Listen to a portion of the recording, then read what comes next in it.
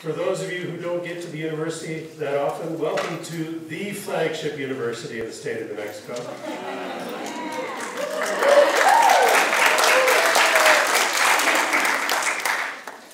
And like any flagship university, the University of New Mexico places excellence in research and graduate education at the center of our mission.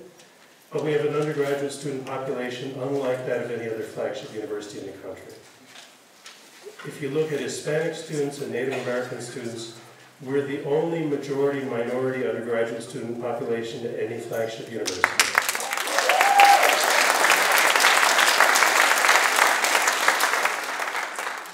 Forty percent of our students are eligible for Pell Grants. A large number of our students are the first to go to college in their families, or non-traditional students coming back for an education after working and raising families for many years. And so for all of us here, our mission is to deliver a flagship quality education for our students. Because if you do that at my alma mater at the University of Michigan, you're not necessarily changing a whole lot because most of the people who get there are reasonably well prepared when they arrive because they've had all the advantages in life. But if we can deliver a flagship quality education for our students, we transform their lives and we transform our society. And there is really no other department that embodies that mission more than American Studies.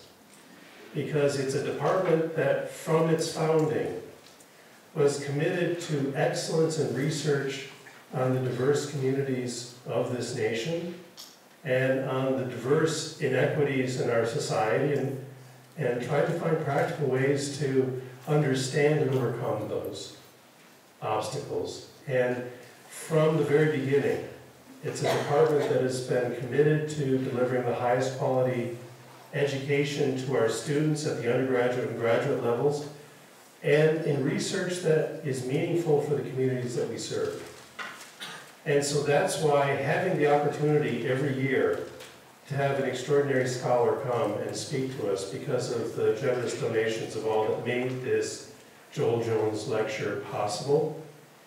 It just embodies everything American Studies believes in, everything the College of Arts and Sciences believes in, and everything that the University of New Mexico should aspire to. And I am especially grateful at this moment to turn over the mic to Vera Norwood, who was on her first day as Dean of the College of Arts and Sciences, uh, was my first day as the chair of the Department of Political Science here. So we started together. And I hope, and I, I always aspire to live up to the, the wonderful, you know, the wonderful job that she did as Dean. And the way that she exemplified everything that we are talking about as the values of this institution. And so it is my great pleasure to turn the mic over to Vera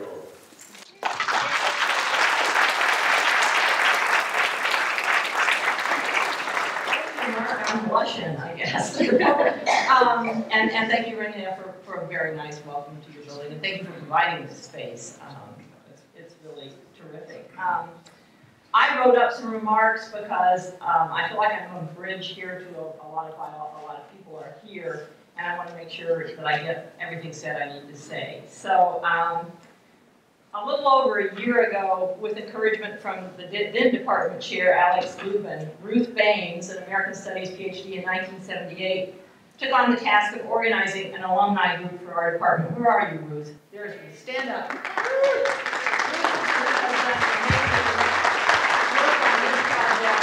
Uh, all for the last year and a half. She called me about joining the effort because we've been students during Joel Jones' tenure as head of American Studies during the 1970s, and we shared our sadness at his recent passing. In reminiscing about Joel's impact on us and our colleagues, we discussed the tradition he had begun of American Studies providing a space supporting new scholarship and teaching emerging and, and teaching emerging from current social and political events.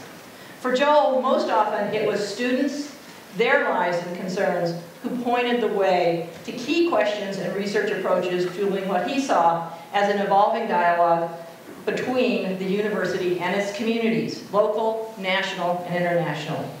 He carried this passion for connections into his work in higher education administration, both on the academic side in the provost's office and in the student services side. It was apparent as well in his later career as a very successful president of Fort Lewis College. I think there was something in his obituary that people call the years he was a president of Fort Lewis as the Camelot years at Fort Lewis. American Studies has continued to build on the tradition Joel established of developing the academic strengths of the department through engagement with current social and political events. Ruth and I decided that a key part of our alumni outreach effort should include an annual forum for alumni, faculty and students, and the community to come together to reflect on a critical issue of the day.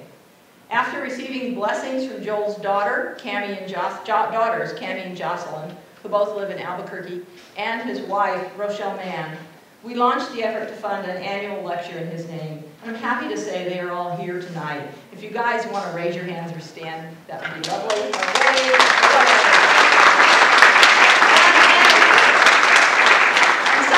grandchildren are This is wonderful.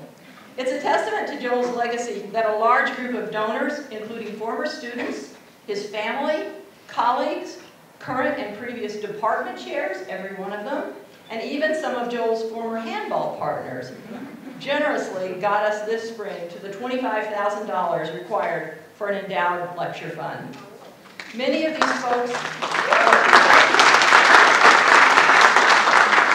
So many these folks are here tonight, and I think we're, we're doing that right now. We want to give them our heartfelt thanks for their support.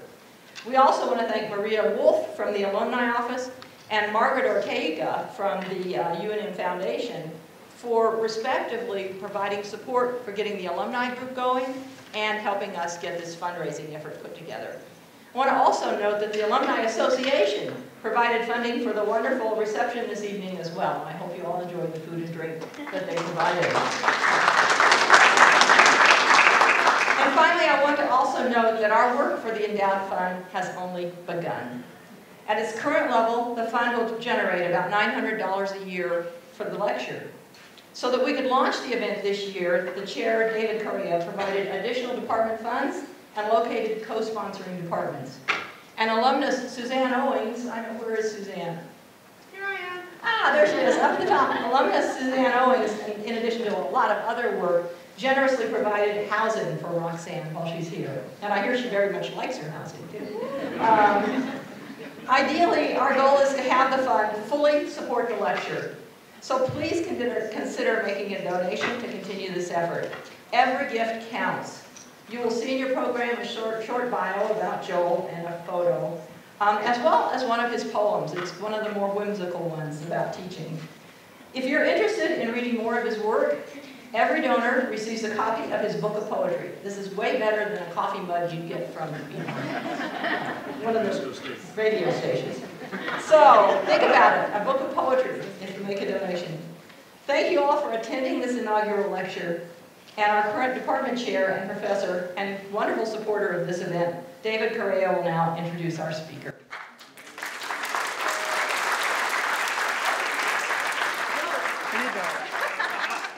You can't have that.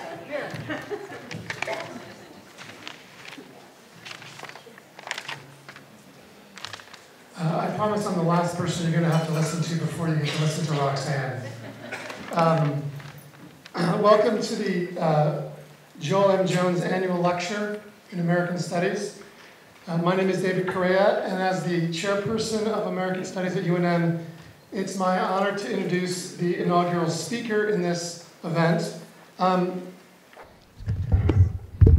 before I do, um, let me start by briefly thanking the many alumni who made this possible. in particular, and I know a few of them have already been mentioned, but I want to mention them again. Ruth Baines, uh, Vera Norwood, Suzanne Owings, uh, Shelby Smith St. Clair, and Diane Layden, who worked as a committee over the last nine months, meeting regularly to plan this event. Um, this really could not have happened without them. In addition, I want to also thank Maria Wolf from the Alumni Association and, and Margaret or, or, Ortega from the UNM Foundation for their work and support in this effort. Um, and I also want to thank our co-sponsoring departments. Many thanks to the Department of Native American Studies, uh, the Department of Chicana and Chicano Studies, and the Women's Studies program, whose support made this event tonight possible. Um, tonight's speaker, Dr. Roxanne Dunbar Ortiz, is a great friend of the Department of American Studies. This is not the first time we've invited her to speak at UNM. In fact, the last time we invited her to speak, it was in this very room, right, Roxanne? Seven, six or seven years ago, right? And I hope it won't be the last. Um, she holds a PhD in history from the University of California, Los Angeles. Um, she spent 30 years teaching at California State University East Bay, where she co-founded there the Department of Ethnic Studies. Before that, she briefly worked at UNM, where she served as the visiting director of Native American Studies, working with Joel M. Jones, among others, to establish Native American Studies at UNM. It was, uh, for many reasons, it was a no-brainer to invite Roxanne to deliver the inaugural lecture in the Joel M. Jones lecture series. Dr. Dunbar Ortiz is not only a scholar and award-winning author, but a committed activist. Her memoir, read, and by the way, you probably saw all of her books outside. Um, if you bought one or plan to buy one after, Roxanne will sign those for you after the lecture if you'd like. Just want to make sure you know that. Um, her memoir, Red Dirt, Growing Up Okie, tells the story of her life in uh, growing up in Oklahoma, the child of tenant farmers and a grandfather active in the Oklahoma Socialist Party and Industrial Workers of the World. Oklahoma has changed, Roxanne. Um, like all great scholar activists, activists, her work emerges from and informs the political struggles in which she has participated. Um, from 1967 to 72, she was a full-time activist and a leader in the women's liberation movement. Um, she tells that story in Outlaw Woman, Memoir of the War Years, 1960 to 1975. In the early 70s, she organized with the American Indian Movement and the International Indian Treaty Council. Her book, Blood on the Border, a memoir of the Contra War, tells the story of her work in Nicaragua following the Sandinista Revolution. In addition, she is the author of many other books, The Great Sioux Nation, an oral history of the Sioux Nation, Roots of Resistance, a history of land tenure in New Mexico, uh, my favorite book of hers, um, and Indians of the Americas, Human Rights and Self-Determination. Roxanne's award-winning book, An Indigenous People's History of the United States, was published by Beacon Press in September of 2014, and of which she told me today, um, will figure prominently in filmmaker Raoul Peck's HBO limited series on colonialism. You may know Peck from his Oscar-nominated film about James Baldwin, I'm Not Your Negro. Um, she co-authored the, the 2016 Beacon book, All the Real Indians Died Off, and 20 other myths about Native Americans, co-authored with a graduate of the American Studies program at UNM, Dina Gilio-Whitaker. Um, just this year, City Lights Books, books published her book Loaded, A Disarming History of the Second Amendment. All those books are available upstairs for you to purchase. She is working on another book for Beacon Press, uh, which I think she will discuss tonight, um, that challenges the idea of the U.S. as a nation of immigrants. I am so pleased to have her here. Please join me in welcoming Dr. Roxanne Dunbar Ortiz.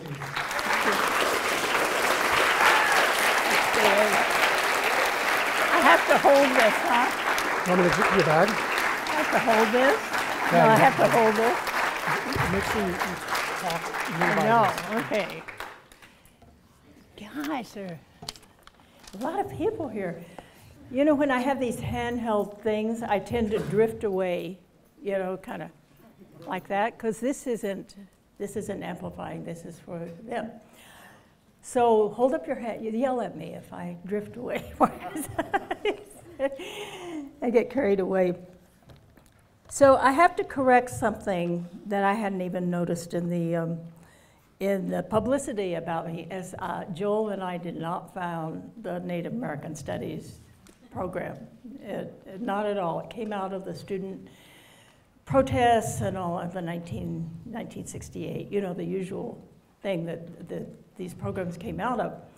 Um, the problem was that the university was beginning to um, pull away from support and all. So this was the people who did found it, Jonella and others, actually um, persuaded me to, you know, to come and, and take this position. So uh, what we actually did found was something different. It was uh, called the Institute for Native American Development within the Native American Studies. So I was corrected by Richard Griego, my friend here, the original founders, are you here? There you are. Well, Richard is, but I mean, Janella's not here. Okay. Anyway, thank you, Richard, since I hadn't noticed that. So um, I will tell you what we did, though. you didn't found it. Um, I really, um, I too want to thank um, the American Studies Department and the members of this committee that have done such a great job of organizing this event and obviously getting the word out. The first thing I saw about it was is everyone is invited who's either in American Studies, faculty, or students. And uh, it got bigger, so they got a bigger room. So thank all of you for coming. But I um, uh, thanks the members. The members are Ruth um, Ruth Baines, uh, Alex Lubin, Vera Norwood, Margaret Ortega, uh, Shelby Smith Sinclair, and Maria Wolf. So thank all of you. I also wish to thank the co-sponsors of this event, the Department of Native American Studies and the School of Architecture and Planning. As well, um, the institutional support that makes possible this lecture series, um, the UNM Alumni Foundation, individual donors, and um, the um, UNM alumni. So it's a great honor for me to be the first speaker in this important series. Um, it's uh, more than um, a big honor, you know, to come back here and be able to tell the story and see how much uh, UNM has changed. It was a pretty white citadel when, in the 1970s. And um, so I'll, um, um, I want to say a few words um, about Joel before I get into the, you know, the, uh, what my lecture is really about, which is called Settler Colonialism, Immigration, and White Nationalism in the United States. So I think everyone who knows about Joel uh, and will learn about him uh, are deeply impressed by his scholarship and leadership in the field of American studies, but also his impressive administrative work here and then at uh, Fort Lewis, and then his poetry on the side. So he's a, um, an amazing person, but I think very few people know um, about his, um, his important role uh, for developing Native American studies uh, to um, another level um, at UNM in his position in administration in the 1970s, where almost all money went to football and not to academics. seemed like, anyway, um, until there was a great scandal.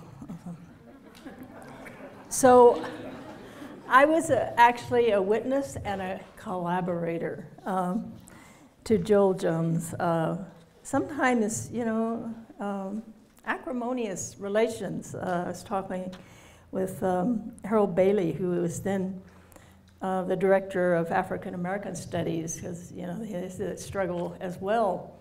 And um, Joel would resist, but what he insisted on is that we we make the arguments that he would take to the president that he couldn't he couldn't conceptualize you know what it is that we were doing. So um, it, he, was, he was such an important uh, link.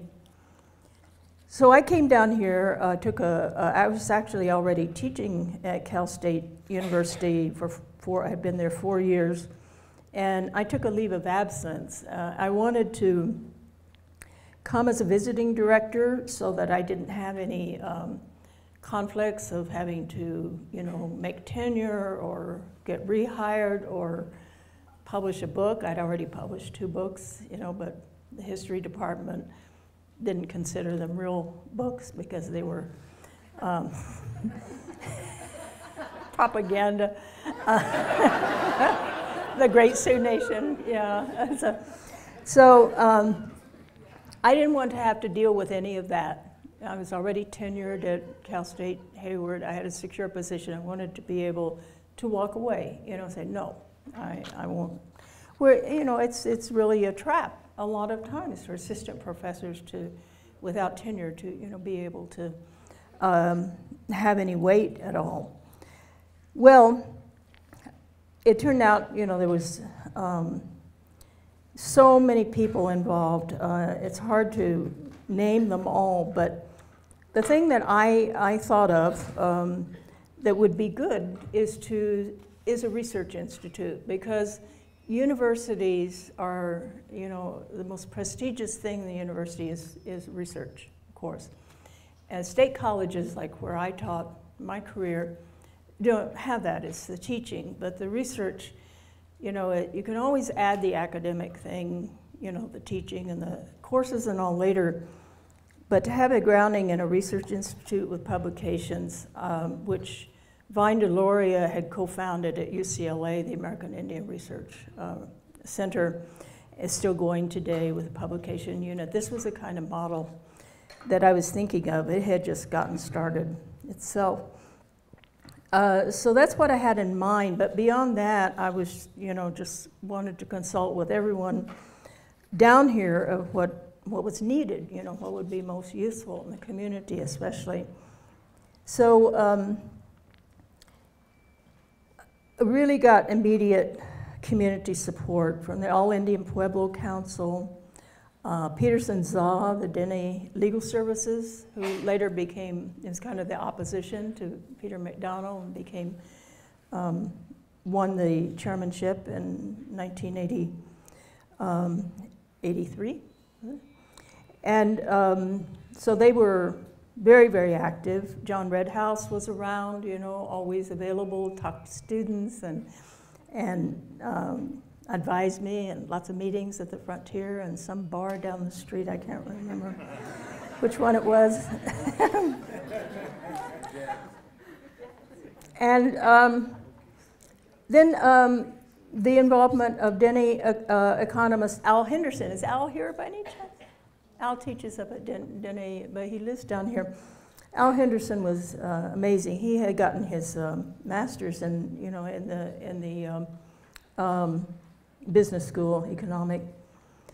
It, he's an economist. And the Dene artist, writer, and intellectual, the late uh, Larry Emerson. And the wonderful elder economist, uh, the late Phil Reno, who was a mentor to all of us. He taught at the Shiprock campus, um, Navajo Community College.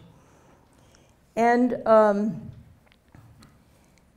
uh, then the Native American faculty on campus, which is very few but very important, engineering and in education. Of course, Alfonso Ortiz was here and was very supportive. So, um,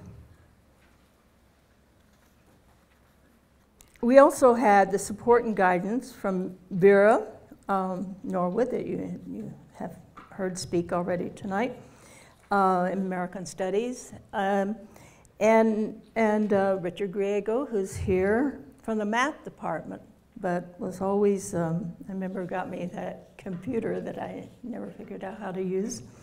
Uh, no, we did, um, but it was Ted that really brought in the computers later. Louise Lamphere in anthropology, the late Gerald Boyle in business school, and uh, Harold Bailey, whom I, I mentioned, was uh, great support. We had our little cottages over on Las Lomas, those little adobe cottages. So there's one for Black Studies, one for Chicano Studies, and one for Native American Studies, and the International House. So we were our own little, little cluster there, and very uh, mutually supportive.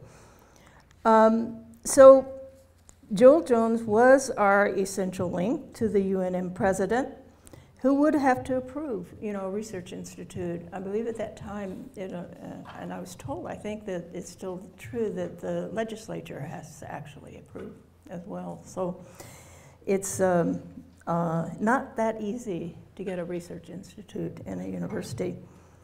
So the, um, the core of the research institute was to be linked with uh, indigenous nation building and particularly grounded in um, here locally in, um, in New Mexico. So we began with what was conceived as a three-day seminar on res reservation economic development, inviting the economic development officers from the Dene Nation, um, the various pueblos, quite a few of them, and Zuni, Mescalero, Jicarilla. Um, but the word got out. We were going to keep it very local. The word got out all over, so tribal planners came from all over the country, native and non-native. There were a lot of non-native, um, some good, some bad, some wonderful. Um, they all came, and it became so large um, that uh, it it turned into a whole different thing than we were, you know, kind of a consulting thing that we're doing. What do you need? What can we, what can we set up here that would be useful to your work?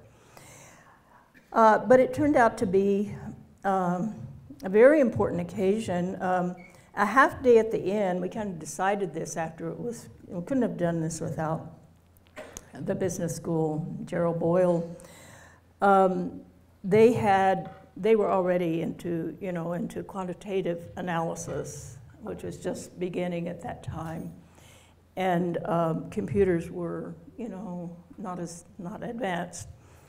Um, but they developed a questionnaire um, that, you know, of what was needed, and ran that through, you know, a program, uh, and came out with we came out with a report. So it wasn't just computerized, they could also write in. We studied, you know, and typed up all of, all of the comments and everything. Everyone really participated in that very well. And that became a kind of grounding. Then we um, published and distributed this report, uh, as well as publishing an anthology of academic essays uh, called Economic Development in American Indian Reservations. And that included um, Phil Reno and Gerald Boyle and Al Henderson and uh, Louise, Lam uh, Louise Lamphere, um, um, myself, and others uh, looking at you know, reservation development. Vine Deloria had a piece in it.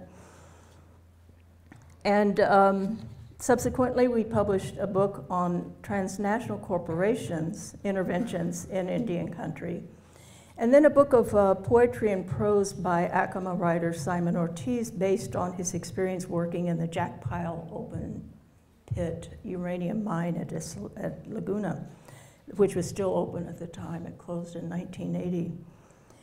And uh, it was very controversial. Then, in conjunction with UNM Press, uh, Phil Reno's Mother Earth, Father Sky, Navajo Resources and Economic Development which I recommend every, everyone to read. It's University of New Mexico publication. So um, based on these, uh, this needs assessment report that we did, and further consultation with university and tribal officials, planners, and activists, um, there was a lot, a lot of, uh, Kiva Club was very active in it, you know, and, and obviously, you know, connected with um, with the communities um, and the uh, anti-uranium, you know, coal mining and uranium mining, um, very early environmentalist actions from Native people. Um, so it was a, a, a, very dynamic process, very exciting. Um, so what we decided to do was uh, that we, we got requests for, um, from almost all the planners, is to have the seminars we were planning uh, to actually go ahead and have them. So it got set up through the um, Gerald Boyle, uh, who's a very conservative older guy, you know, but he was so, uh, he's so helpful with all of this. And he loved Al. He'd been Al's mentor, you know, in, in uh, university. And I think Al was the first uh, actually academic economist who was Native American. And um, so they, um, um, they actually sponsored the seminars along with Native American Studies and um, uh, gave credit. If the tribal planner wanted university credit, they'd get it, but there was no tuition, no charge for them. So it was really an amazing uh, thing. So we started those seminars. Uh, we had, um, fortunately, in 1980, this guy here, Ted Jojola, came home to Isleta from this prestigious East West Center in Hawaii where he had a PhD, the perfect person. And um, he probably could have gotten jobs all over the place, but he stayed, directed Native American Studies, and he was what I call a premature um, Apple freak.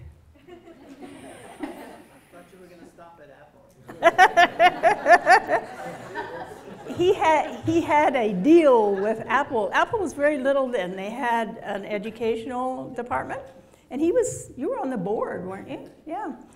So he brought he got all these free computers for the Native American Studies. So he's training. This is like in 1980, 81, training students, Native students in computers. So give Ted a hand.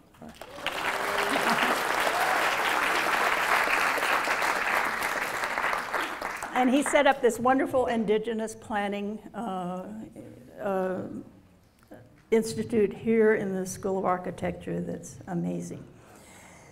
So now I'll get my get to get to my uh,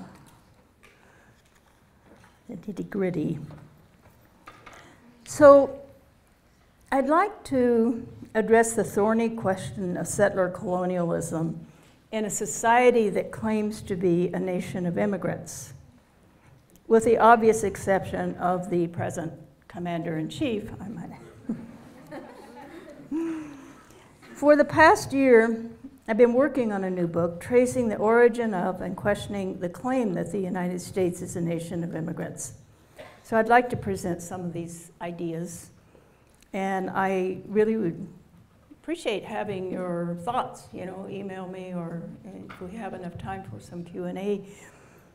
Um, I'm developing this thesis. I am a historian, and I believe in the ghosts of history that inform our culture as well as politics, whether we are aware of it or not.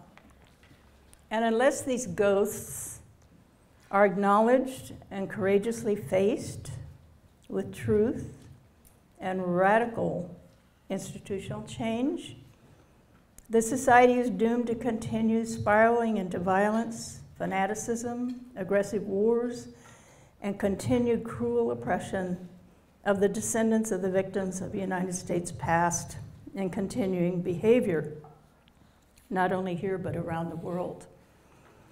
As we speak, bombs are falling, US bombs are falling on children in Yemen. So in 1958, there's actually a beginning to this idea of the nation of immigrants. 1958, then Senator John F. Kennedy published a best selling book titled A Nation of Immigrants. I forgot to get my prop out. Here it is. Still in print, sold millions of copies. So, um, everyone should get that and read it. It's, it's quite a. uh, go through some of it. But um, this is um,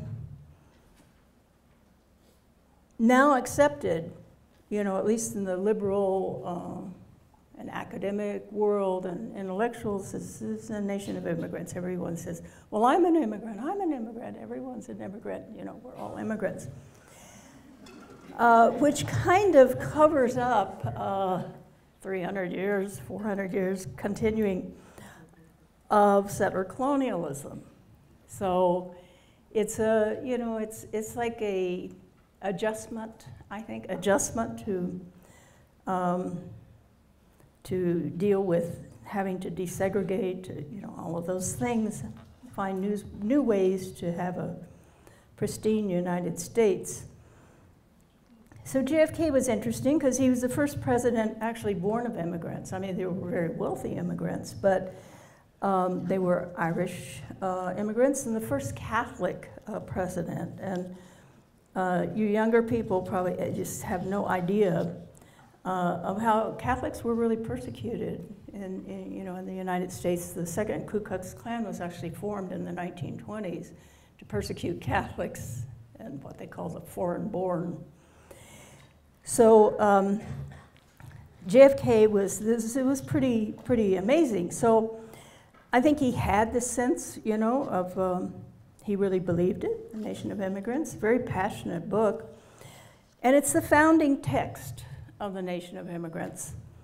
It was published uh, near the end of JFK's 1953 1960 term as U.S. Senator from Massachusetts, two years before he was elected president. What is most striking is the fact that Kennedy never mentions in this book, never mentions once Mexico or Mexicans or the border in the text, nor does he use any kind of euphemisms like Latinos or Hispanos or Hispanics or anything like that. But this was 1958, late in the period during which Mexicans were categorized as braceros. They were under short term contracts, and although not in the shadows, they had no rights, nor could they even return to Mexico until their contract was completed. More egregious is Kennedy's omission of any mention of Mexico or the border in the fact that Operation Wetback officially called Operation Wetback, was a federal government program that began during Kennedy's first year as senator and continued beyond his senatorial career into his presidency. Operation Wetback was a federal program to round up and forcibly deport more than a million Mexican migrant workers under the guise of their being undocumented. Sound familiar? mainly in California and Arizona. Um, and this is all, of course, within the Mexican territory that was annexed in 1848. In the process, subjecting millions of Mexicans, many actually US citizens, to illegal search and arrest and often mistaken deportation. All were deported far away from the border to central Mexico, without papers, without anything, leaving those who were U.S. citizens stranded without documents to be able to even return to their homes. So, this was a repeat of the mass deportations of Mexicans in the 1930s when there was a tight, uh, you know, like 40% unemployment. Uh, again, you know, about a million, million and a half, many of them U.S. citizens um, deported. But that Kennedy did, was not aware of what his own government was doing, you know, at this time that he didn't even mention them. So Mexicans were not considered immigrants. They were considered bonded labor practically. You know, they were not, they didn't have that designation as immigrants.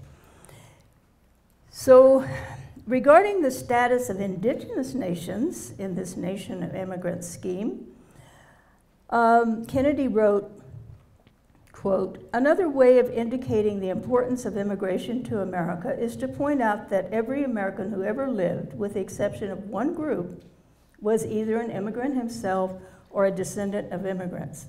So it sounds promising, doesn't it? but the exception um, being the Indians. And he continued Will Rogers, part Cherokee Indian, said that his ancestors were at the docks to meet the Mayflower. But Kennedy disagreed with this, although he admired Will Rogers very much, claiming that, quote, some anthropologists believe that Indians themselves were immigrants from another continent who displaced the original settlers, the Aborigines, unquote. This, of course, is the speculation of U.S. white nationalists that those original Aborigines were European, in fact. This is really evil. I mean, it's like the Turner Diaries, you know, you know. that is. So, a few pages on in the text is the only other mention of Native Americans. Uh, Kennedy refers to them as the first immigrants. And that, be, that got into textbooks, you know, in the, in the early uh, 90s. They were saying, having the first chapter on the first immigrants, uh, Native Americans. Of course, they had the Bering Straits thing. And, but he dismisses them as members of scattered tribes. Yet, after denoting Native Americans as the first immigrants, throughout the rest of the text, he uses that first immigrants for the original European settlers in the British colonies. Equally unsettling, Kennedy includes enslaved Africans as immigrants. Although the book actually has that famous drawing of a slave ship with black bodies, naked, chained down on their backs, with scarcely an inch between them, packed like sardines, where half of them died on that transatlantic voyage. Enslaved Africans hauled in chains thousands of miles from their villages and fields, naked and with no belongings, forcibly denied their languages, customs, histories, and nationalities and freedom. Used not only forced and unpaid labor, but their very bodies considered private property to be bought and sold, soon creating a thriving legal uh, slave market, the total value of which in 1840 was of greater monetary value than all other property in the United States, including all the gold in circulation and bank reserves and all real estate. That's a pretty heavy thing. Capitalism in the United States was built in the Cotton Kingdom on the buying and selling of black bodies, and even the producing reproduction in Virginia, because the transatlantic slave trade was outlawed.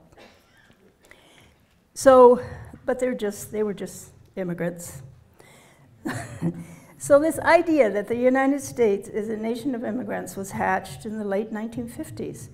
So I see it as a response to the post-World War II worldwide national liberation movements in Africa, the Caribbean, Latin America, and Asia, the decolonization, the possible end of European and United States domination that in the United States, the National Congress of American Indians, NCAI, was founded in 1944 uh, by D'Arcy McNickle, Helen Peterson, and other longtime Native activists. African American attorneys were developing a strategy for desegregating public schools. While in 1951, more radical African Americans, uh, Paul Robeson and others of the Civil Rights Congress, petitioned the recently established United Nations with a detailed document titled We Charge Genocide. It's an amazing document, it's online, it's easy to find. It's not a long text. And that was um, based on the 1948 UN Convention on the Prevention and Punishment of Genocide. Around the same time, Native American activists were contextualizing the situation of Native nations within the decolonization, um, national liberation, transnational context. Uh, so I think those of us who thought all that came about in the 60s or 70s or maybe even yesterday um, don't give enough credit, you know, to those pioneers who were doing this. And there is a book uh, that uh, traces all this many things in there I didn't know before by Daniel Cobb. Native Activism in Cold War America, The Struggle for Sovereignty. I highly recommend that book, very well written too, uh, good to use in classes. Well, these cracks in the empire were an extraordinary phenomena because at the end of World War II, US society and political order was solidly and confidently a white republic dominated by wealthy white men who headed transnational corporations and, uh, and um, um, that uh, and the financial investments and reserves greater than any who had the financial investments and reserves greater than any country in Latin America. African American descendants of enslaved Africans lived under totalitarian Jim Crow laws in the former Confederate states.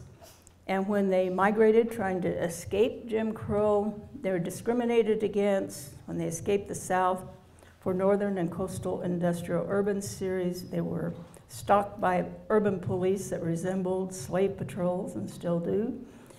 And, and um, they, um, they were completely segregated, legally redlined everything. So Native nations, um, of course, were in um, uh, pretty dire straits during that period of time. Uh, Termination Act uh, had been 1953. Um, the idea of doing away with Native people entirely uh, on, on um, land bases that could not support life. So, so many people, uh, younger people, had to leave uh, to work in near or faraway cities and creating the urban Indian population. And this was very intentional. I thought, you know, they will never want to go back or, you know, be um, involved once they see the bright lights of the city and so forth. Um, so it didn't work out that way. Um, while Congress began reversing all the New Deal reforms, um, the termination, complete erasure, Irish, Southern, and Eastern European, mainly Catholics and Jews, um, were still discriminated against, but had made great gains in being accepted as possibly acceptable citizens or honorary whites.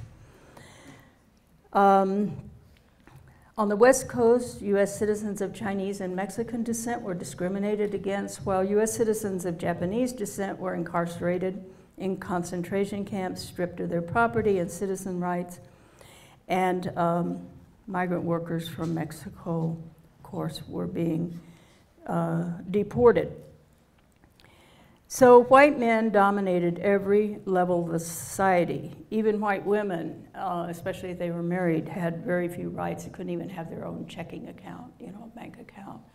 Um, men and women, job segregation. Um, so um, it was really white men dominated. So that's why it's so extraordinary that this, you know, this jump in consciousness. And it freaked them out. So that's how I see Kennedy. They brought Kennedy in there to, you know, um, kind of uh, make an adjustment.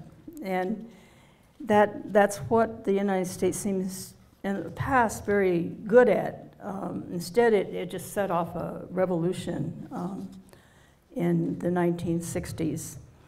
So the actual explosion that cracked the White Republic was the 1954 U.S. Supreme Court desegregation of schools decision with former California Governor Earl Warren, who was the governor who initiated the incarceration of Japanese Americans. I want to remind people, uh, as Chief Justice, so he was no great liberal person, you know. So it was definitely, uh, you know, a higher uh, the ruling class really seeing, you know, we're going to have to adjust to some things. So within three years of the Supreme Court decision, the white nationalist John Birch Society was launched by Robert Welch, the wealthy heir of the Welch candy fortune in Massachusetts, along with others such as Fred Koch, the father of the current Koch brothers, um, who fund white supremacists and privatize everything and especially public lands and Indian lands, and um, uh, movements to end all government benefits. But the Birchers, especially in the nearly all-white Orange County, California, um, where they really took hold, and these were like suburban, working class, mostly um, who had been uh, economic refugees from the Southwest, from Oklahoma, Arkansas, so-called Okies and Arkies, um, that had um, been able to move into the suburbs, especially with the war industry, to get jobs. And um, they moved into South, South Central uh, LA and really, you know, dominated, dominated that place. And then as the African American population moved in there, they fled to Orange County. So that's how Orange County became uh, the amazing right wing place that it still is today. so this was the counter-revolution that grew throughout the 1960s and 1970s that many of us who were active at the time didn't pay much attention to. I, I kind of did because I was at UCLA um, 64 to 68 and, you know, was aware of, of Orange County. And of course, they got Reagan elected, they produced Nixon. This was, you know, they spawned all these things.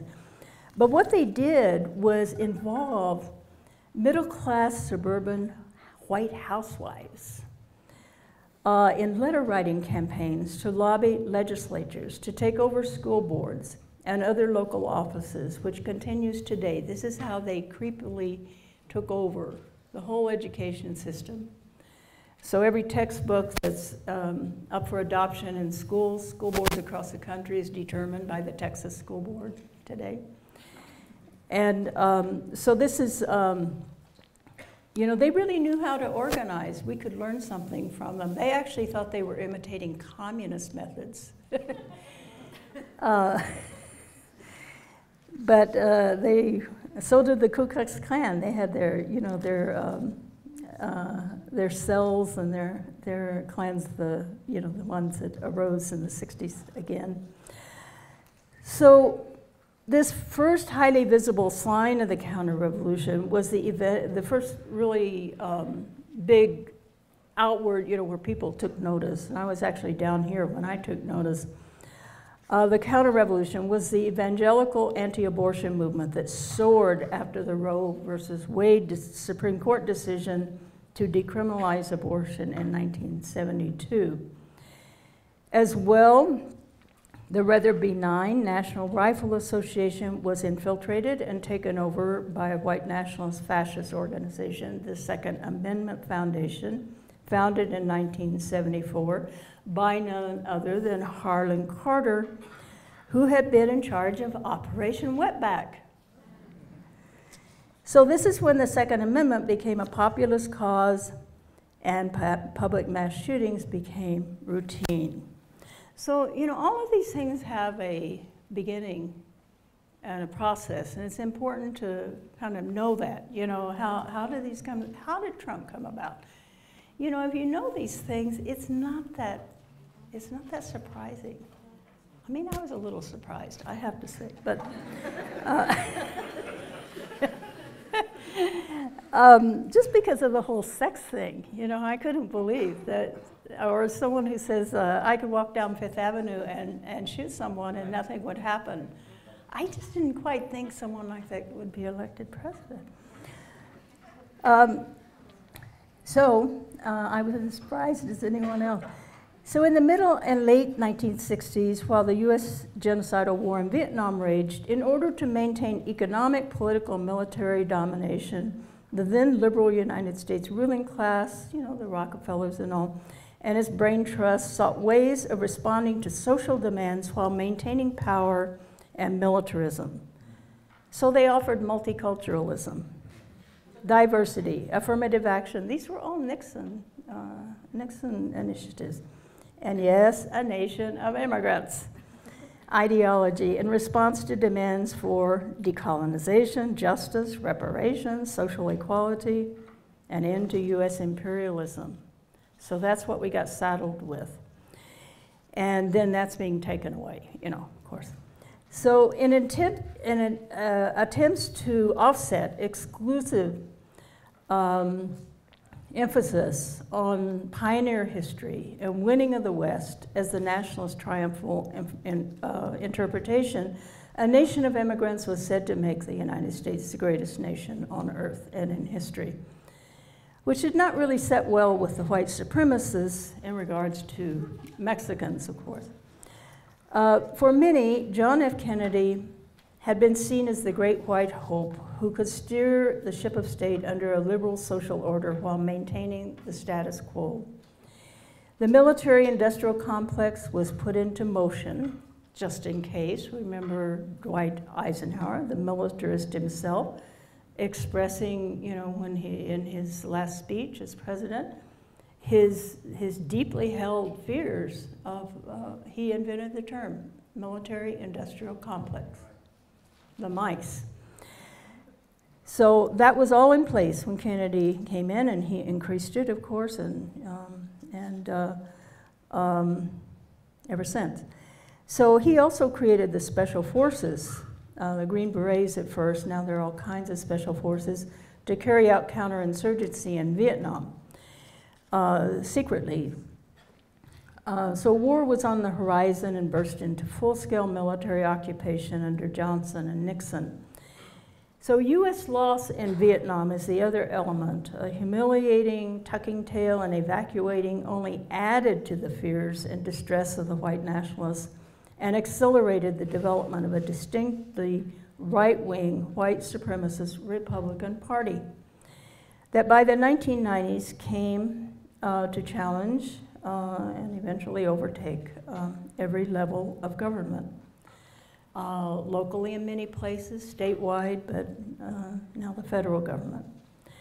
So um, this, rather than following, say, Jesse Jackson's advice, running for president in the 80s, instead the Democratic Party decided to veer right, you know, rather than you know, because Jesse was very popular. He was winning all over the place, you know, and sort of like Bernie Sanders, you know. And, but the Democratic Party um, blinked, and we got Clinton.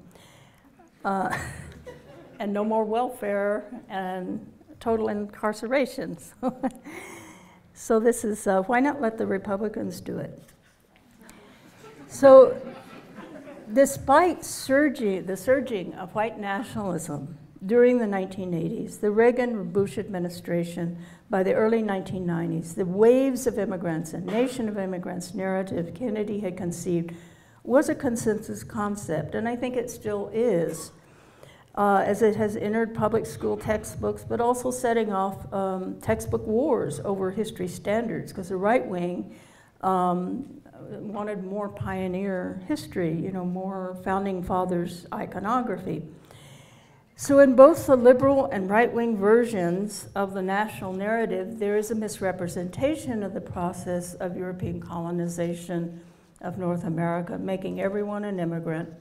And it serves as the official story of a mostly benign and benevolent United States that masks the fact that the Anglo-Germanic settlers in North America were settlers, colonial settlers, just as the British, the Belgians, the French, the Dutch, the Spanish were in all parts of the world too, Africa, Asia, Latin America, and even here in North America. So it didn't end, you know, with the uh, U.S. independence. They carried on all of those structures and actually embedded them into the Constitution itself. So beginning in the 1840s, there was an influx of millions of indigenous Irish fleeing famine in Ireland. They're now called immigrants, thanks to JFK, but they were really refugees you know, as so many are at the border now. They're refugees. They're not what you would call immigrants coming to, you know, to uh, make a million or uh, the American dream. That's not what the starving Irish were thinking. They were thinking a meal, you know, for my family. This was not, they were not uh, coming. Um, in, in that narrative of, uh, and, and most were not. The Eastern Europeans were often fleeing pogroms, Jewish uh, people uh, fleeing pogroms, um, even famine in Scandinavia in the 1840s, uh, that the U.S. went over and, and, and dropped leaflets in the languages there, especially Sweden was um, a terrible famine, and invited them to come, you know, and, and take Minnesota which was Dakota territory. You had that horrible genocidal war that Lincoln um, during the Civil War carried out um, to protect the Scandinavian immigrants who really didn't, had no idea what they were getting into. They had a one-way ticket and free land if they could go and take it, you know. So um, this was um, uh, the Chinese and Japanese uh, also uh, were driven by economic necessity, although Asian immigration was soon excluded.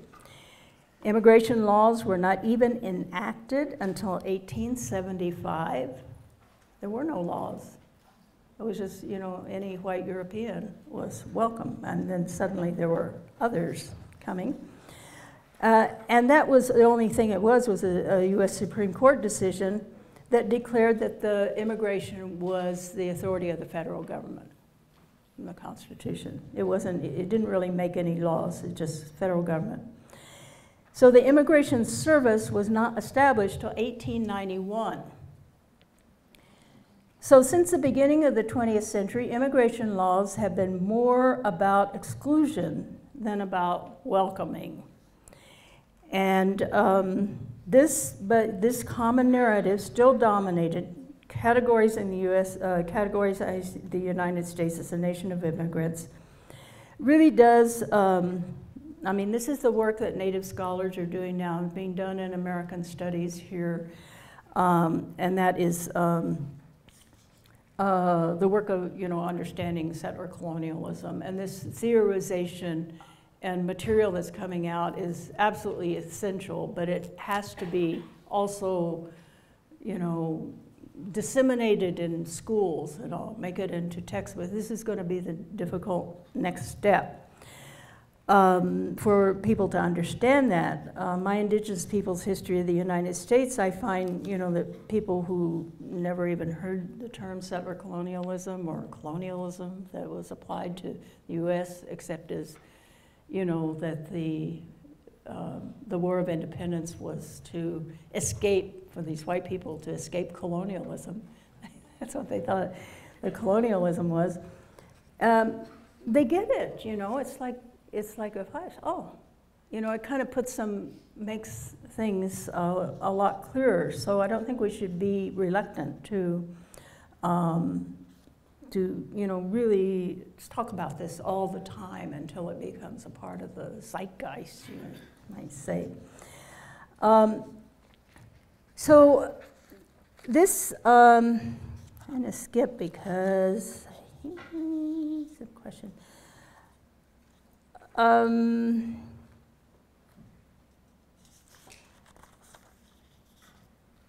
I should, yeah, I want to mention, uh, I mentioned it um, sort of, you know, in the beginning about um, Nation of Immigrants and Trump. Uh, on George Washington's birthday this year, the Trump administration's director of the United States Citizenship and Immigration Service changed its official mission statement and dropped the language of Nation of Immigrants to describe the United States, although not for the reasons that I object to the designation. On the contrary, it harkens back to the unveiled white supremacist Americanism, you know, the white republic. Although immigrant bashing is not new, it has become more fraught issue uh, as it has crystallized and accelerated in the 21st century as primarily um, targeting Mexicans and increasingly Muslims. Yet those who defend immigration, mostly metropolitan liberals and often immigrants themselves, employ the idea of nation of immigrants naively without considering the settler colonial history of the United States and the white nationalist ideology it reproduces.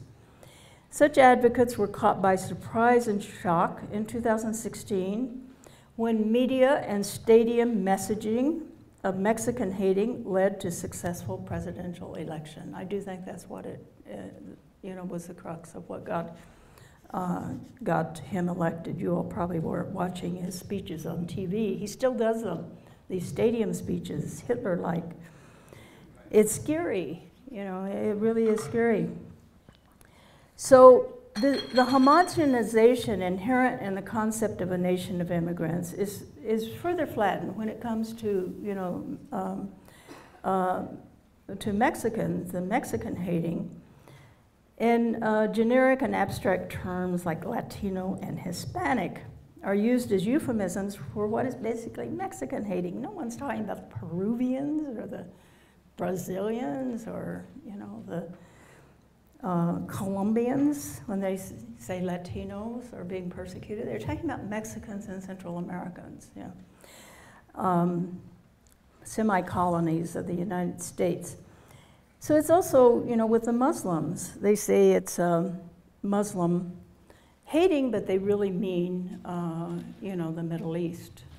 Uh, uh, because the largest Muslim country in the world is Indonesia, and there's not much bashing of Indonesia. They're a great ally of the United States. So the elephant in the room of immigrant bashing is the US border with Mexico. Not Canada, not every international airport in US claimed territory, rather Mexico. US slavers' conquest of the Mexican uh, province of Texas, beginning just after US independence and just after Mexican independence, followed by the United States military conquest and occupation of Mexico 1846 to 1848 led to the annexation of where we are right now, northern half of Mexico. So white supremacy and settler colonialism are embedded in that questionably legal and always unstable contested border. Um, a few early examples. In 1835, United States Army Captain Lemuel Ford, on a secret spy mission in Mexico, here in you know New Mexico, which was Mexico, uh, reported back that Indian race of Mexico must recede before us is quite certain, as that is the destiny of our own Indians. So, in the following year, 1836, U.S. merchant Waddy Thompson Jr., on a trip into New Mexico, when it was Mexico, wrote, These Spaniards, and he meant Mexicans, are the meanest looking race of people I ever saw. Don't appear more civilized than our Indians generally. Dirty, filthy looking creatures.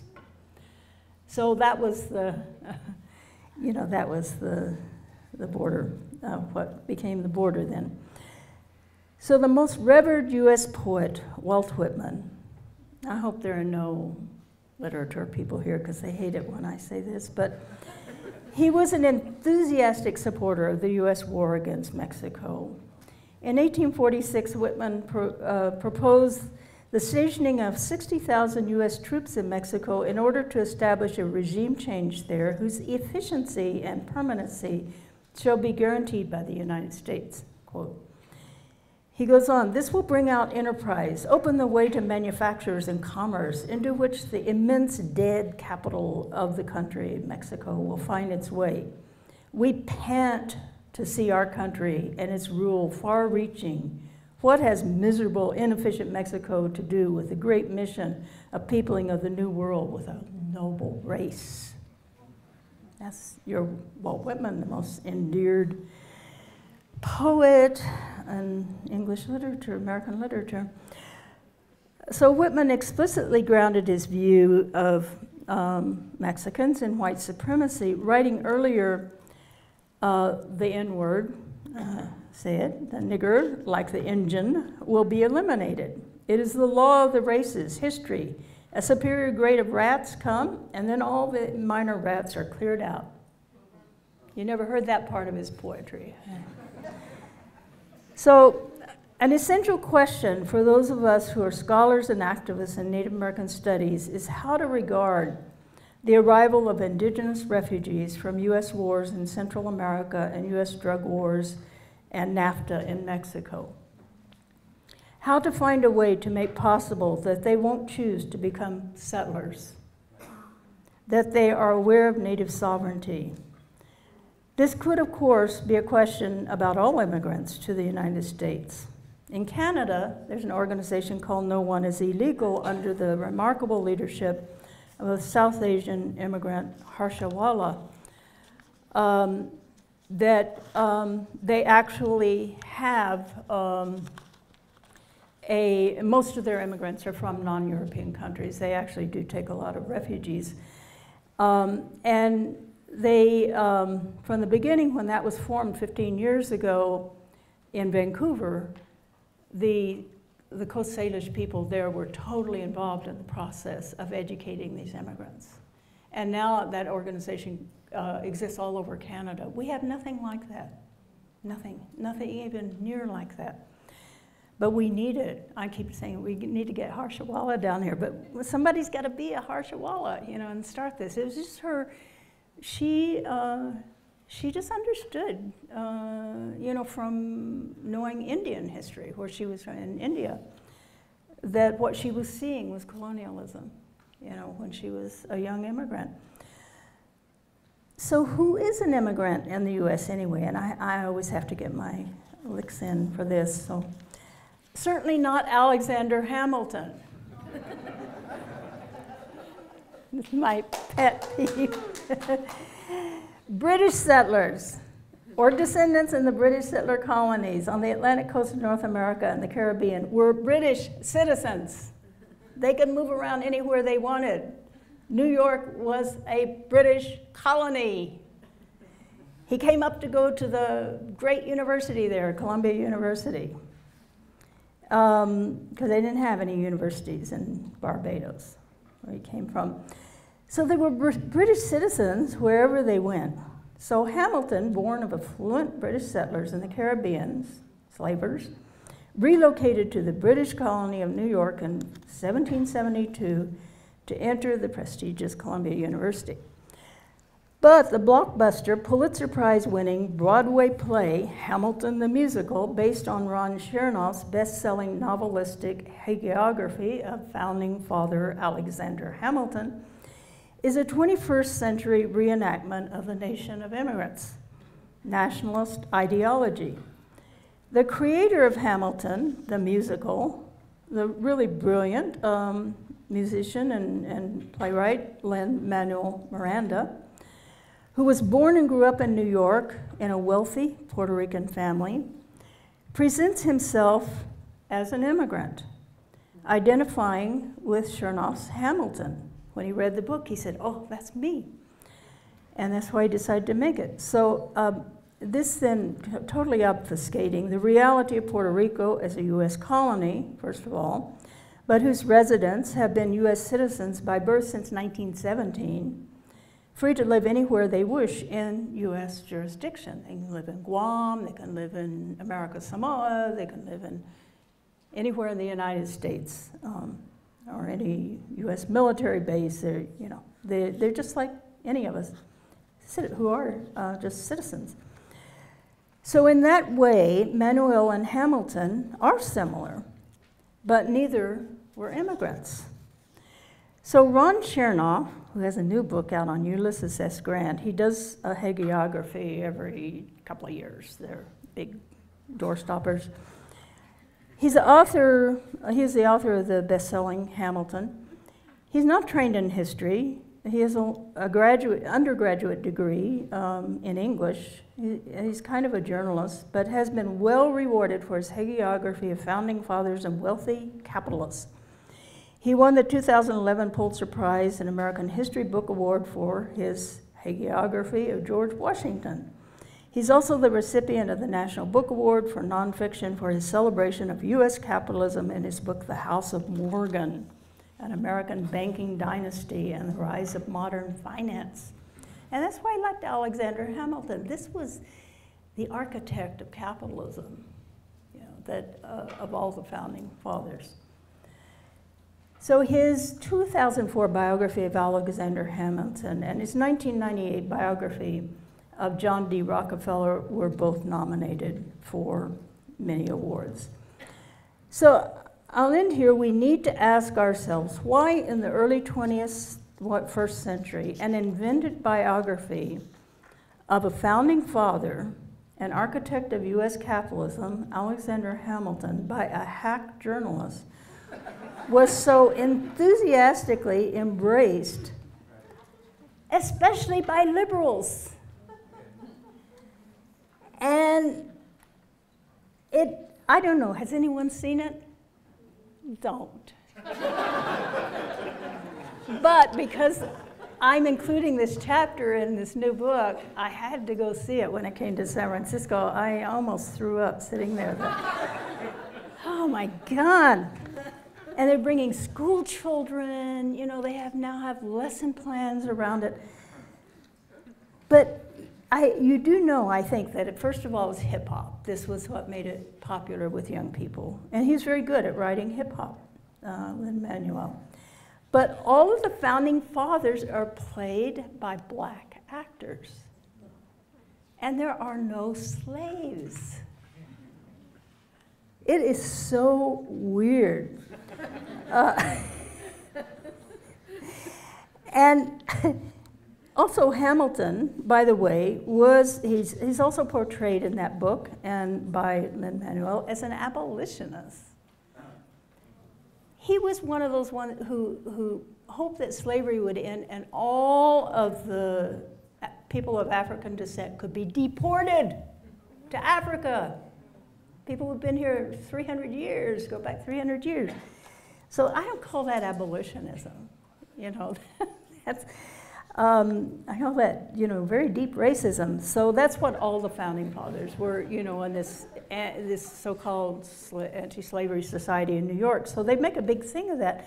The fact is, he was married into one of the biggest slave trader families in, uh, in, in North America, in the colonies. That was uh, the Schuyler family, the old Dutch, you know, the pre-British slavers the Schuylers, and um, they're the ones that took over um, uh, the Seneca land of, of, what Buffalo, New York is now. That, that's where they were. And Alexander's, a member of the family, actually did the books, you know, for the buying and selling of slaves. So that's how much of an abolitionist he was. I hope I've discredited that enough that I'd like to, I do think it's something we have to think about. Why was that so popular? It still is, you know, it's still playing on Broadway. There's a best selling book that costs like $40 that I was forced to buy to read it. That's a bestseller on the bestseller list, and Chernow's book is constantly on the bestseller list. So I just think we have to think about that. But I would like to end on a, a quote from Eduardo Galeano.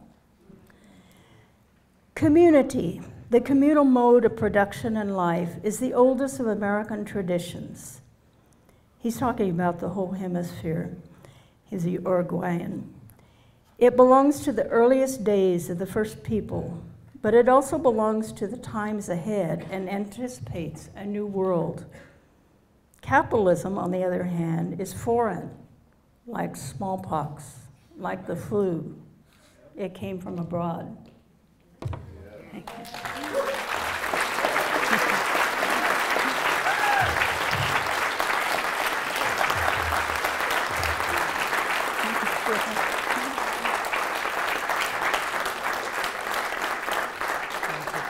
Yeah, sure. I can, I can give this. Yeah, you can run around. We have time for some questions. Anyone has any?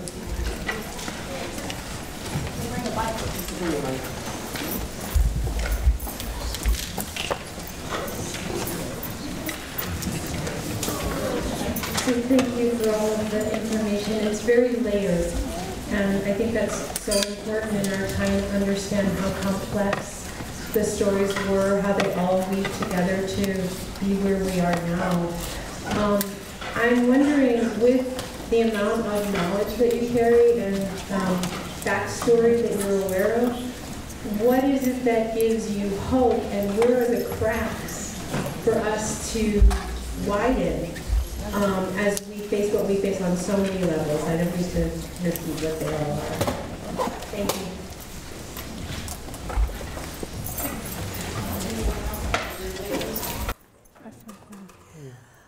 Well, that's always the problem, you know. What, what are we to do? That's why I, I read the uh, uh, Eduardo Galeano report. I think we have to keep that in mind that there is something, um, say in this, you know, in this land, in the Americas, that um, whole cultures are so deeply rooted and they have not gone away. How can we nourish? How can, I, I mean, it's being done. As the Red Nation people here, you know, the, um, it's, uh, I think things are being done. And we just need to keep doing them and doing more of them more intensely and louder mouths, not to ever talk louder, speak up, speak up in class. When I was uh, here in 1978 to 80, there was one native a graduate student in the history department, a wonderful scholar who's at the University of uh, uh, Arizona State University now, who, who built native studies there. Um, James Riding In, he's Pawnee from Oklahoma, brilliant. Richard Ellis, who was the Latin American history professor, well, one day, uh, James came, he's, he's a big guy, 6'4", big, big guy, you know, I mean, he's like a, know, like a Pawnee, you know, really a, a hard scrabble guy, and um, very, you know, reserved, and he was crying. He came into my office crying. I, oh my God, someone in, in his family must have died or something, and he said he had just come from the graduate seminar where Richard Ellis had said that the Pawnees, knowing full well that James is a Pawnee, and this is his advisor, his dissertation advisor, were cannibals. So, you know, he couldn't at that time think, he was so horrified, he just ran out. He wanted to quit school, you know. But we have to speak up, you know, and not just Native people speaking up. Everyone has to interrupt the. I, I doubt that something that, well, I don't doubt anything anymore that could be done, but, but to, you know, just make it a part of your, uh, the most important part of your life. That's what I would say. That's the healthiest way to live, basically, is to be involved in this making change. And we have so many uh, apocalyptic kind of crises ahead of us that um, we shouldn't get freaked out by that and think we have to hurry, hurry, hurry all the time, but keep nourishing this because something else uh, has to be reformulated to replace this. Uh, um, you know, in the deconstruction, we need to be deconstructing um, colonialism, what it is, and uh, spreading this, you know, because it, uh, we multiply. Everyone we talk to, whoever it is, you know, uh, and explain these things and talk to them, they may not accept it, seem to accept it, but what I learned from years of teaching is that, and, and learning myself, that something I wouldn't accept, that years later I would say, ah, I heard that back then, that's what someone, you know, a mentor said, and I didn't understand at the time.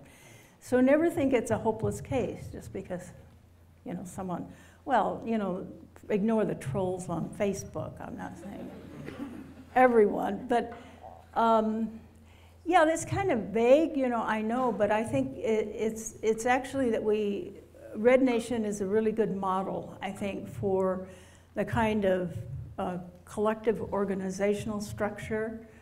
Um, I hope it can, you know, sometimes things um, like what happened with AIM being local at first, very much, you know, uh, uh, a precursor of Red Nation, was very local in Minnesota and Minneapolis, became national, it became, you know, spread really fast. So I think it, it is important to spread it, you know, have chapters, but do it really, um, you know, really with care and education and, and you know, create these, these kind of communist cells the right wing uh, loves so much um, that, that do letter writing campaigns and, you know, do intensive things. Give people things to do, you know, not just to, sometimes we are in our heads a lot, you know, and I think most people want to do something. So what can you do? Well, I say you could support Red Nation, and you could join Red Nation.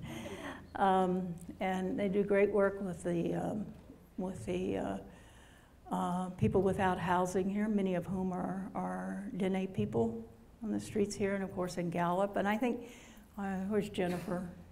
Did she go to, she go home? Oh, she left. Well, anyway, Jennifer Denetdale uh, was doing that work even before, you know, before Red Nation formed. And so it was kind of a foundation that was really great. So I would say, you know, I've always felt this, uh, that New Mexico is a, um, is a, a place of knowledge. There's knowledge here, historical knowledge, has several kinds of colonialism, has, um, you know, the, uh, just the, you know, the, the ancient teachings of the Pueblos that are so deeply rooted, um, that it is the place that could ignite something. I think it is the most likely place of what you're doing here. I've felt that for a long time. Um, and um, so I think you have to really carry that burden of responsibility, you know, that there are elements here that people don't have in other places where you can figure out things and, you know, teach other people. So it's a big, it is a big responsibility. And um, I think most of you who are here are probably already doing that. So I'm preaching to the choir probably, but I just encourage you not to give up and not to. Uh, the Cuban revolutionaries used to say, uh, never give up and never sell out. no se rinde, no se vende. And that's not a bad uh, formula to try to follow. Yeah. Any other questions? There's someone up way up there. You get to exercise way.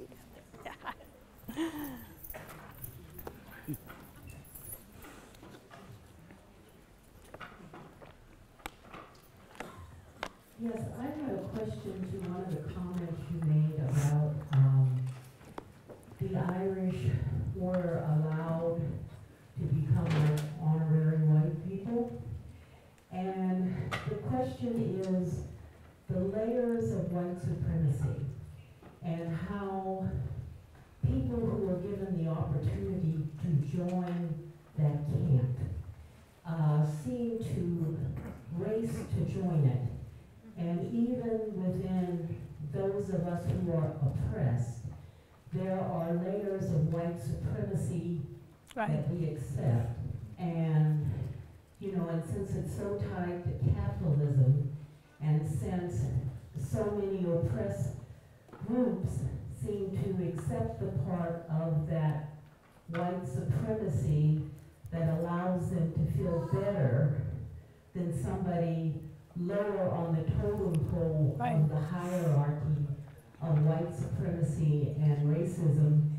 And I guess my question is, as you talk about how we're going to change the structure of things, how do we change that? Because it seems so powerful and so embedded, and now it's becoming a global thought. Yeah. Thank you. That was a good comment.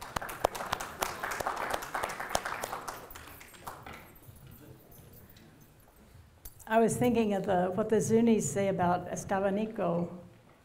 The first uh, white man to come was a black man.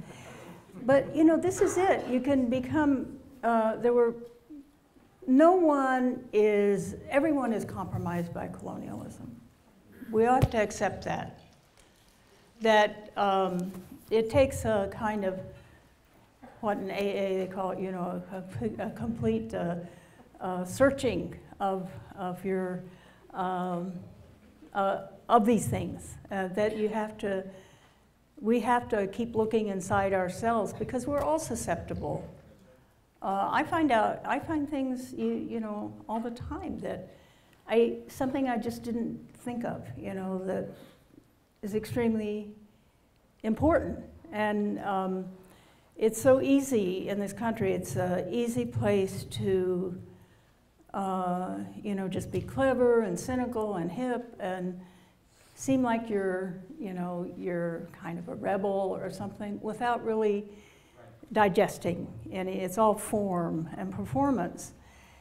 And but I think most people, most young people, we have this younger generation coming up. I, I can't keep straight the X, Y, Zs and millennials and all that, but you know, these young ones that are coming up now in high school, um, they, um, I really think that they have absorbed a lot of what we have been creating, knowledge we've been creating in the last 40 years, that they don't necessarily know where it comes from, but they, for instance, even at Liberty University, that horrible uh, evangelical school where they get all the children of the evangelicals and, you know, they, um, they say, uh, well, they, they don't, uh, uh, they don't forbid the teaching of evolution, but they just teach it as creationism, you know, that that's science. So that's the level. But they did a poll of these young students. They're, you know, like 18, 19 now, just last year.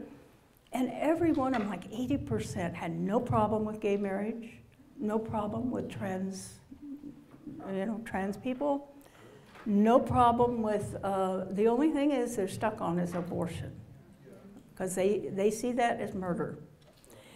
And, um, but they actually are not buying the whole thing. So I think they're, even these young conservatives, if they can be gotten to uh, when they're young, I think I ended a talk I gave in, uh, in Chicago at the Socialism Conference in July with uh, uh capture their children, capture the children. uh, make off with all the, you know, these white children. But yeah, it, it's really sad. You know, there is a book, that how, the, how the Irish Became White by Noel Ignatiev. You know, he goes through it, documented how they went from being, uh, you know, in, in, in England, they were considered uh, descendants.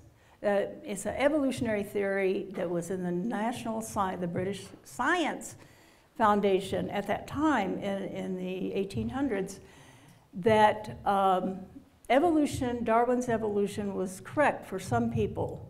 For instance, all of the Africans, dark people, and Irish were descended from apes. They came out of the mud. Uh, but, but Christian white people were created by God. And so Irish were considered savages.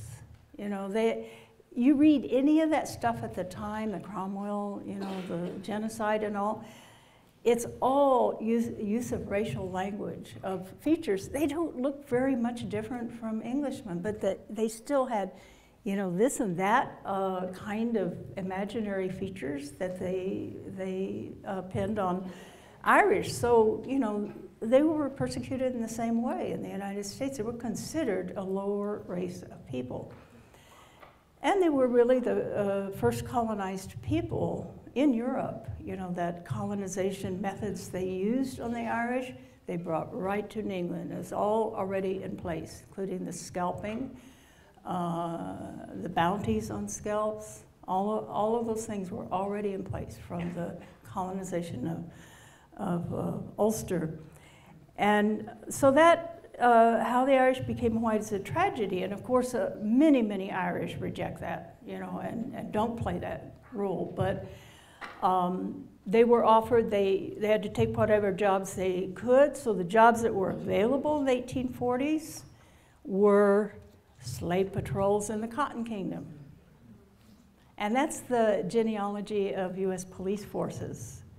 So Irish got, you know, got into the tradition of being and police, uh, almost like an ethnic. And when I first moved to San Francisco, the whole, the whole police force was Irish. The whole police force, and, and all the firemen were Italian.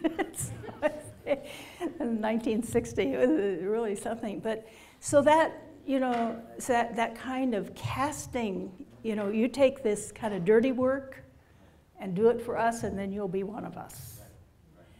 So that's the American way, you know, and everyone's susceptible to it. So I don't think we should ever be um, so confident that we couldn't fall into that somehow, you know, that, that we have to check ourselves all the time and, and be very aware, and because we don't want to be that. Uh, and we, we want to convince people they don't want to be that either, because I don't think they do really.